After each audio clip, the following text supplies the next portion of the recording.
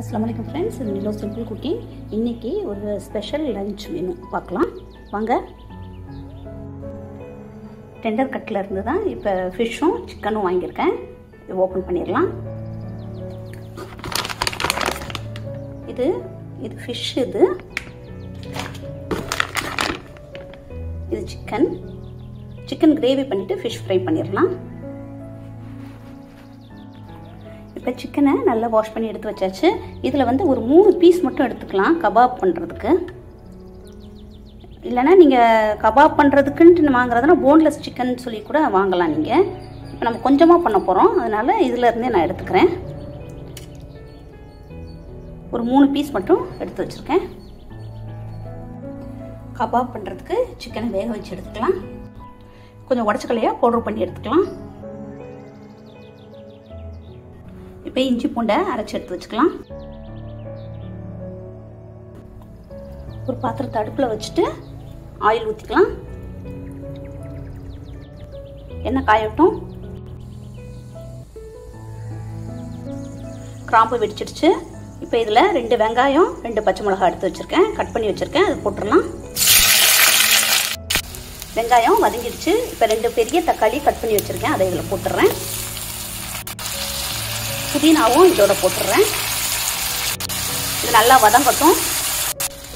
இதில் உப்பு போட்டுடலாம்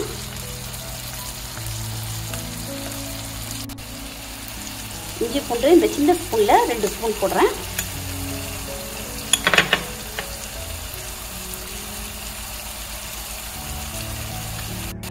இதில் மிளகாத்தூள் ஒரு ஸ்பூனு கொத்தமல்லி தூள் ரெண்டு ஸ்பூனு கரம் மசாலா அரை ஸ்பூனு மஞ்சள் தூள் ஒரு கால் ஸ்பூனு. இது எல்லாத்தையும் இப்போ இதில் போட்டுடலாம்.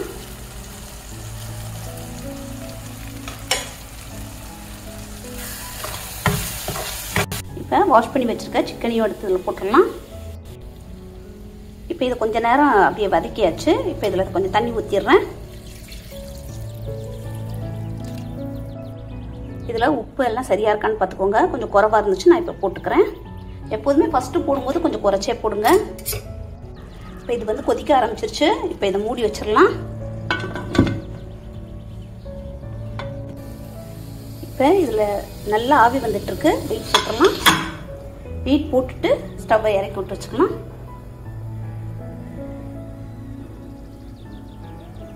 ஒரு ஃபைவ் மினிட்ஸ் வச்சுட்டு ஆஃப் பண்ணிடலாம். இல்லைனா நீங்கள் ஏற்றி விட்டே வைக்கிறதுனா ரெண்டு விசில் வந்தவொன்னே ஆஃப் பண்ணிடுங்க நான் இப்போ நல்லா இறக்கி விட்டு வச்சுருக்கேன். விசில் வராது. ஒரு ஃபைவ் மினிட்ஸில் ஆஃப் பண்ணிடுவேன். மீன் வந்து ஒரு நாலு பீஸ் இருக்குது அதாவது ரெண்டு பெரிய பீஸை கட் பண்ணி கொடுத்துருக்காங்க. இதை வந்து நான் வாஷ் பண்ணி எடுத்து வச்சுருக்கேன் இப்போ இதில் வந்து மசாலா போட்டு எடுத்து வச்சுக்கலாம். இதில் மிளகாத்தூள் மஞ்சத்தூள் உப்பு மட்டும் போட்டிருக்கேன். இதில் வந்து அடிஷ்னலாக ஆட் பண்ணணுன்னா பண்ணிக்கலாம். இஞ்சி பூண்டு அப்புறம் சீரகத்தூள் மிளகுத்தூள் என்ன வேணால் இதில் ஆட் பண்ணிக்கலாம். நான் இப்போ போட்டது வந்து வெறும் மிளகாத்தூள் மஞ்சத்தூள் உப்பு. இது மட்டும் போட்டு மிக்ஸ் பண்ணி தடவி வச்சுக்கலாம். இப்போ மீன்லாம் மசாலா போட்டு வச்சாச்சு. நம்ம இது அப்படியே ஊறிட்டு இருக்கட்டும். இதை எடுத்து வச்சிடலாம். ரைஸ் வேண்டியதை ரெடி பண்ணிடலாம். இப்போ இதில் ரெண்டு கப்பு பாஸ்மதி அரிசி. ஏற்கனவே ஒரு கப் அதில் போட்டு இது இன்னொரு கப்பு. இதை தண்ணி ஊற்றி ஊற போட்டு வச்சுக்கலாம். இதை நல்லா வாஷ் பண்ணிவிட்டு ஊற போடலாம். இது ஃபைவ் மினிட்ஸ் ஆயிடுச்சு. இப்போ நான் ஆஃப் பண்ணிடுறேன். அப்படியே ப்ரெஷர் ரிலீஸ் ஆகுற வரைக்கும் அப்படியே இருக்கட்டும். இப்போ ப்ரெஷர்லாம் ரிலீஸ் ஆயிடுச்சு.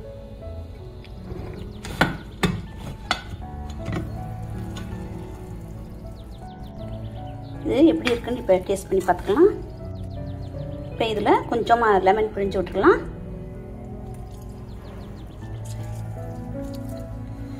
இது வந்து நல்லா குழம்பா பண்ணோம் அப்படின்னாக்கா கொஞ்சம் தேங்காய் அரைச்சி விட்டலாம் தேங்காயும் சோம்பும் கொஞ்சம் போட்டு நல்லா அரைச்சி ஊற்றி ஒரு ரெண்டு கொதி கொதிக்க விட்டு ஆஃப் பண்ணால் நல்லா குழம்பா இருக்கும். இப்போ நம்ம வந்து அப்படியே கிரேவி அப்படியே எடுத்துடலாம். இந்த மாதிரி. ரொம்ப தண்ணியாக வைக்கலை. கொஞ்சம் கொத்தமல்லி இலை தூவி விட்டு அவ்வளோதான் ஆஃப் பண்ணிடலாம். முடிஞ்சது.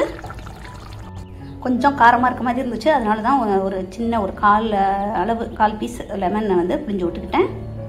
ஒரு அரை முடி தேங்காவை அரைச்சி வச்சுக்கிட்டேன். தேங்காய் பால் எடுக்கிறதுக்கு சாதம் பண்ணுறதுக்கு குக்கரை அடுப்பில் வச்சுட்டு ஆயில் ஊற்றிக்கலாம் எண்ணெய் குறவாக ஊற்றினா போதும். கொஞ்சம் நெய்யும் ஊற்ற போகிறோம் அப்புறம் தேங்காய் பால் போட போகிறோம் இப்போ நாலு கிராம்பு நாலு ஏலக்காய் ஒரு மூணு பீஸு பட்டை எடுத்து வச்சுருக்கேன். ரெண்டு இலை எடுத்து வச்சுருக்கேன். இது ரெண்டு கப்பு அரிசிக்கு அதாவது ஏலக்காய் கிராம்புலாம் ஒரு கப்புக்கு ரெண்டு அந்த கணக்கில் எடுத்திருக்கேன். இதை இப்போ போட்டுடலாம். எண்ணெய் காஞ்சிடுச்சு.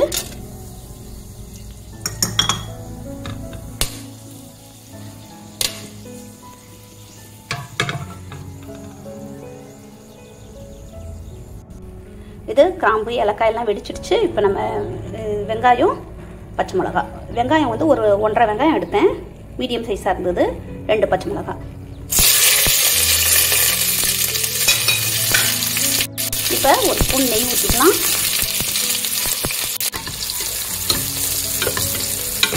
இப்போ தக்காளி போட்டுடலாம்.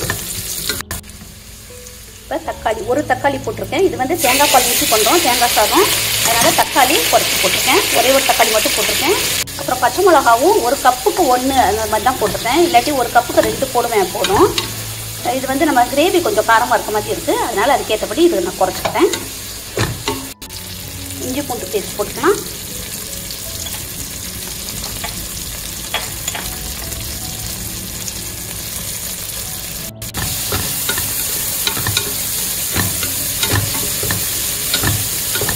இந்த கப்பில் அரிசி போட்டோம் இல்லையா? இந்த கப்லேயே இப்போ நாலு கப்பு தண்ணியும் தேங்காய் பாலும் கலந்து எடுத்து வச்சுருக்கேன். அரை மூடி தேங்காயில் தேங்காய் பால் எடுத்தாச்சு. அது ஒரு மூணு கப்பு இருந்துச்சு ஒரு கப்பு தண்ணி ஊற்றிக்கிட்டேன் இப்போ இது நல்லா வதங்கிடுச்சு. இப்போ நம்ம தேங்காய் பால் ஊற்றிடலாம் இது நல்லா கொதிக்கட்டும். கொதிச்ச உடனே அரிசி போட்டுடலாம். தண்ணி கொதிக்க ஆரம்பிச்சிருச்சு. ஊற வச்ச அரிசி இருக்கு இல்லையா தண்ணியை நல்லா வடிச்சிட்டு இதில் போட்டுடலாம். அரிசி இதில் போட்டாச்சு. இப்போ இதில் கொத்தமல்லி இலை போட்டுடலாம். உப்பு போட்டுடலாம். உப்பு போட்டுட்டு எப்போதும் நம்ம டேஸ்ட் பண்ணி பார்த்துக்கணும். கரெக்டாக இருக்கான்னு. ஒரு ஸ்பூன் நெய் ஊற்றிக்கலாம் இப்போ நல்லா கொதிக்க ஆரம்பிச்சிருச்சு. மூடி வச்சிடலாம். நல்லா ஆவி வந்த உடனே வெயிட் போட்டுடலாம். நல்லா ஆவி வந்துடுச்சு. இப்போ வெயிட் போட்டுறேன். ஒரு ரெண்டு விசில் வந்த உடனே ஆஃப் பண்ணிடலாம்.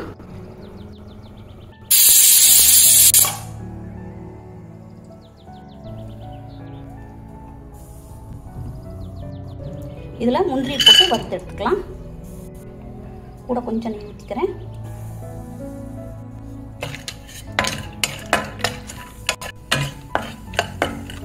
இது நல்ல கோல்டன் கலரில் வந்துடுச்சு இப்போ இதை எடுத்துடலாம். எடுத்துட்டு ரவையை இதில் போட்டு வறுத்துடலாம். ரவை வந்து இந்த கப்பில் ஒரு கப் எடுத்துக்கிட்டேன். ரவையை வறுத்து எடுத்துக்கலாம்.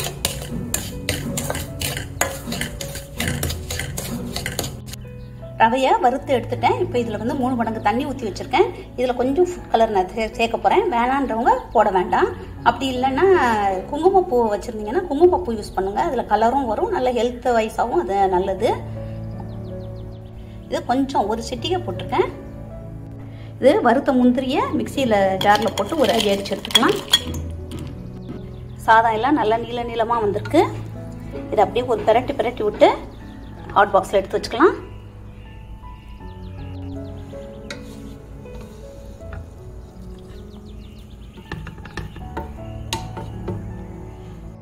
தண்ணி கொதிக்க ஆரம்பிச்சிருச்சு. வறுத்த ரவையை அதில் போட்டுடலாம்.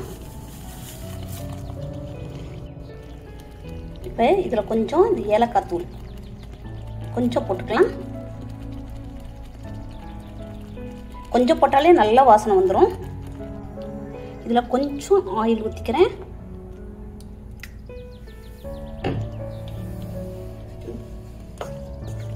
இல்லாட்டி ஃபுல்லாகவே நெய் ஊற்றி பண்ணணுன்னாலும் பண்ணலாம். நான் நெய் கொஞ்சம் குறைச்சி ஊற்ற போகிறேன் அதனால் கொஞ்சம் ஆயில் சேர்த்துக்கிட்டேன். நெய் ஊற்றிக்கலாம்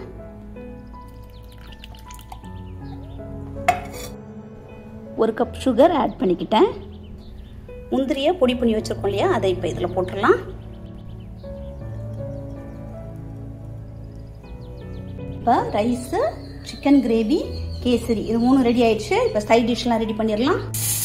இது ஆறட்டும் ஆறணுன்னு பண்ணலாம். இப்போ இந்த சிக்கனை அரைச்சி எடுத்துக்கலாம். சிக்கனை அரைச்சி எடுத்தாச்சு. இப்போ இதில் உடச்சக்கல்லையோட பவுடர் இதில் சேர்த்துடலாம்.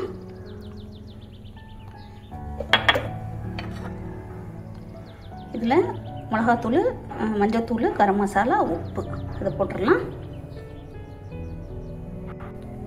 கொஞ்சம் வெங்காயம் கொத்தமல்லி இலை இதில் சேர்த்துக்கலாம் இப்போ இதில் ஒரு முட்டையும் உடச்சி ஊற்றியாச்சு இதை நல்லா மிக்ஸ் பண்ணிக்கலாம் இப்போது rice chicken gravy sweet ready ஆயிடுச்சு. இப்போ இது வந்து ஃபிஷ் ஃப்ரைக்கு மசாலா போட்டு வச்சுருக்கோம். இது கபாப் பண்ணுறது சிக்கன் கபாப் பண்ணுறதுக்கு ரெடி பண்ணி வச்சாச்சு. அப்புறம் இது தயிர் பச்சடி பண்ணுறதுக்கு எல்லாம் கட் பண்ணி எல்லாம் உப்பு போட்டு வச்சுருக்கேன். தயிர் அந்த நேரத்தில் சர்வ் பண்ணும்போது ஆட் பண்ணிக்கலாம். அப்புறம் இது கார்னிஷ் பண்ணுறதுக்கு வேண்டியது ரெடி பண்ணி வச்சுருக்கேன். இது எல்லாமே சாப்பிடும்போது ரெடி பண்ணணும். அது சாப்பிட்றதுக்கு ஒரு கால் மணி நேரத்துக்கு முன்னாடி இதெல்லாம் ரெடி பண்ணிடலாம். சீக்கிரமே செஞ்சு வச்சுட்டாக்க அந்த டேஸ்ட் குறைஞ்சிடும். இதெல்லாம் இது ரெண்டுமே நல்லா சூடாக சாப்பிட்டா தான் நல்லாயிருக்கும். இதில் வந்து இஞ்சி பூண்டு பேஸ்ட் போடாமல் விட்டுட்டேன். இதையும் இதில் போட்டு ஆட் பண்ணிடலாம் இப்போது ஆட் பண்ணி மிக்ஸ் பண்ணிக்கிறேன். இஞ்சி பூண்டு பேஸ்ட்டும் இப்போ கலந்து வச்சுட்டேன். இதெல்லாம் ரெடி பண்ணுறதுக்கு வந்து எனக்கு டூ ஹவர்ஸ் ஆச்சு. இது வந்து ரொம்ப ஹரிபரி கட கட கடன்லாம் நான் பண்ணலை. ரொம்ப ஸ்லோவாக நிதானமாக தான் பண்ணேன். அதுக்கு டூ ஹவர்ஸ் எடுத்துச்சு. அது சிக்கன் கபாபுக்கு இந்த மாதிரி தட்டி எடுத்து வச்சாச்சு. இது வந்து சிக்கன் வடைன்னு சொல்லலாம் சிக்கன் கட்லெட்டுன்னு சொல்லலாம். அப்படி இல்லைன்னா கபாபுன்னு சொல்லலாம் என்ன வேணால் பேர் வச்சுக்கோங்க. ஆனால் இது ரொம்ப டேஸ்ட்டாக இருக்கும் ரொம்ப ஈஸியாகவும் இது பண்ணுறது இந்த மெத்தடு இதில் இப்போது அந்த சிக்கன் அந்த கட்லெட் எடுத்து இதில் போட்டு எடுத்துக்கலாம். இதில் ஃபிஷ் ப ஃப்ரை பண்ணி எடுத்துடலாம்.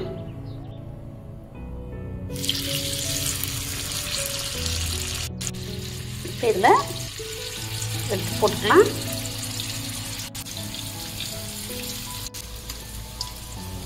நல்லா இறக்கி விட்டு வச்சே ஃப்ரை பண்ணலாம்.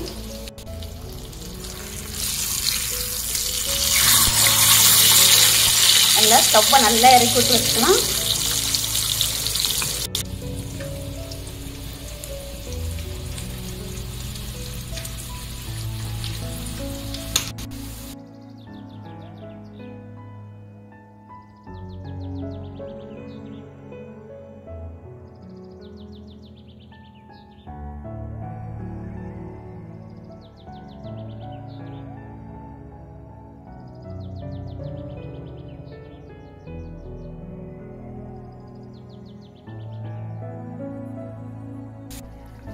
உங்களுக்கு இந்த வீடியோ பிடிச்சிருந்துச்சுனாக்கா லைக் பண்ணுங்கள் ஷேர் பண்ணுங்கள் கமெண்ட் பண்ணுங்கள் மறக்காமல் சப்ஸ்கிரைப் பண்ணுங்கள் பக்கத்தில் உள்ள பெல் ஐக்கானையும் கிளிக் பண்ணுங்கள் தேங்க்ஸ் ஃபார் வாட்சிங் கைஸ்